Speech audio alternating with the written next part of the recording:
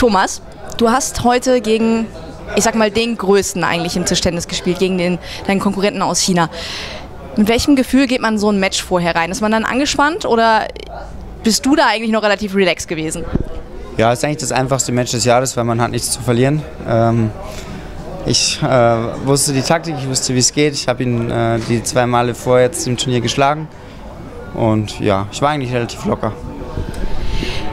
Der erste Satz war relativ flott rum, dann bist du aber immer mehr reingekommen, also es wurde immer enger gegen Ende hin. Ähm, mit welchem Gefühl geht man denn dann vielleicht noch ins, äh, ins Teammatch rein, wenn man weiß, okay, die Chance ist da, ich kann ihn eigentlich schlagen? Ja, genau. Also das muss ich mitnehmen, dass ich ihn auf alle Fälle schlagen kann ähm, und auch will.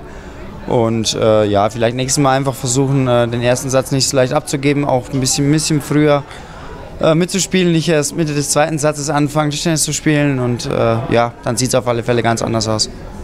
Wie siehst du denn deine Chancen oder eure Chancen noch jetzt für das anstehende Match oder für die anstehenden Matches?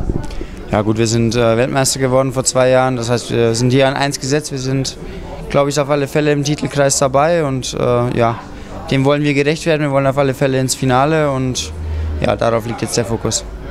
Wie war denn die Stimmung in der Halle heute? Ja, es macht hier mega Spaß. Also die Menschen hier sind alle sehr emotional. Äh, es macht mega Spaß, da zu spielen. Und ja, man fühlt sich sehr wohl da unten. Und wie ist die Stimmung sonst im Team bei euch, bei den Tischtennisspielern und vielleicht auch allgemein im, in der deutschen Mannschaft, im olympischen Dorf, wenn man da ist? Was kann man da so aufsaugen von der Atmosphäre?